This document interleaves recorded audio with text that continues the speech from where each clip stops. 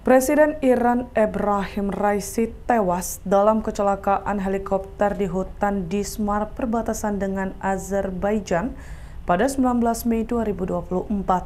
Konfirmasi ini disebutkan pejabat Iran yang tak ingin disebutkan namanya dan sudah dikutip berbagai media Iran.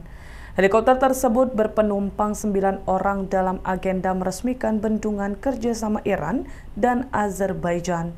Wakil Presiden Iran pertama Muhammad Mokhber digadang-gadang akan mengambil alih jabatan presiden, namun terlebih dahulu mendapat persetujuan Ayatullah Ali Khamenei. Kurun 50 hari kematian Ibrahim Raisi, Iran akan menggelar pemilihan presiden yang dipimpin wakil presiden, ketua parlemen, dan ketua peradilan. Ikuti terus berita aktual lainnya. Jangan lupa like dan share seluruh akun Tribun Medan. Download Tribun X sekarang.